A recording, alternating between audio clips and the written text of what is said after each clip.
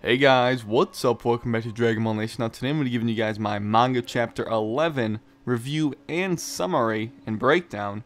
So let's get right into this. Just like the last chapter, this is just retreading stuff that the anime did because the anime has in fact passed the manga's progression.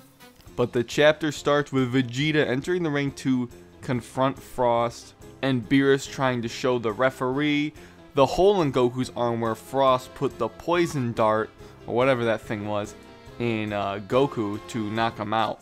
Vegeta fights Frost, he steps into the ring, goes Super Saiyan immediately, and the fight's a little bit different, as Frost actually is blocking some of the hits.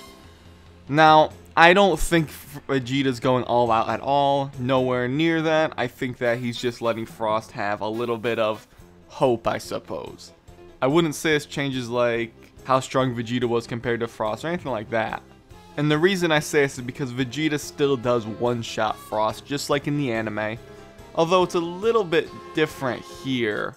Vegeta knees Frost and then basically uses one of those ki pushes to knock him out of the ring. You know, we've seen it done in the show and the manga a few times. Either way, Frost is pretty much hospitalized at that point, getting put out on a stretcher. Goku looks at Hit, um, Hit's sleeping actually, they got some Z's coming out of him, he's actually like meditating. Uh, then Magetta comes out, and Vegeta tries to fight Magetta in his base form, hurts his hand actually, and Magetta just thwomps him essentially. And it takes Vegeta a pretty long time to actually go Super Saiyan to try to beat Magetta. He tries lifting him, which is what I was wondering why he didn't do in the anime. But all in all, I think the fight in the anime was definitely better, and not just because it's moving, but I just think there was more utilized in the anime for the Frost fight and the Vegeta fight, actually. But it looks like Vegeta does beat him the same way by screaming out at him, calling him a name, and then knocks Magetta out of the ring. And then the chapter leaves off with Vegeta and Cabba about to fight.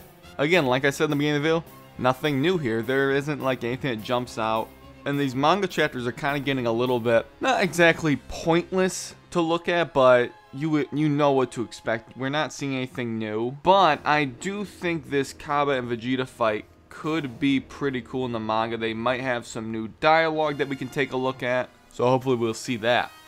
But what do you guys think of the chapter? It's still good. It's definitely not bad or anything. It just almost feels a little redundant in a way to look it over if that makes sense. My hope is that eventually the manga can catch up to the anime and go past it, and it would serve as a proper promotional thing, just like it's intended to be.